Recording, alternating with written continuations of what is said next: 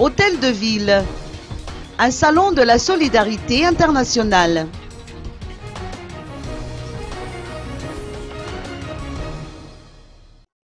L'Institut d'études politiques de Madagascar, ou IEP Madagascar, organisera le salon Malagas de la solidarité internationale les 19 et 20 juin prochains à l'hôtel de ville d'Antananarivo.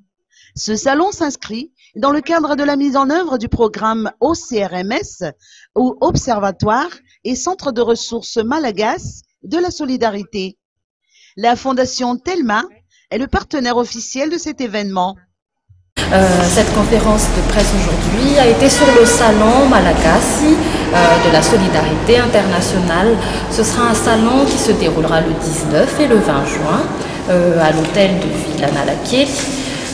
L'objectif de ce salon est de construire, de regrouper toute ONG, société civile, structure étant dans l'aide humanitaire euh, surtout dans la solidarité internationale.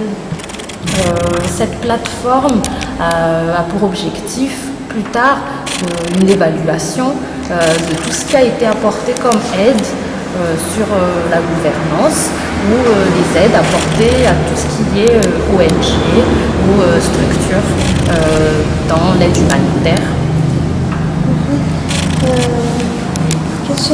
quel sera le programme de ces deux jours de manifestation?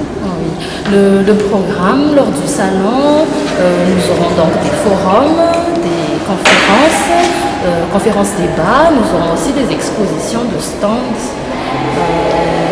Euh, la Fondation Thelma étant le partenaire officiel du Salon Madagascar de la solidarité internationale, aura donc un, stand dans lequel elle présentera ses actions ses actions des années précédentes, de cette année, et les actions futures dans l'aide humanitaire, l'aide à l'enfance, l'environnement, le développement durable et aussi des nouvelles technologies.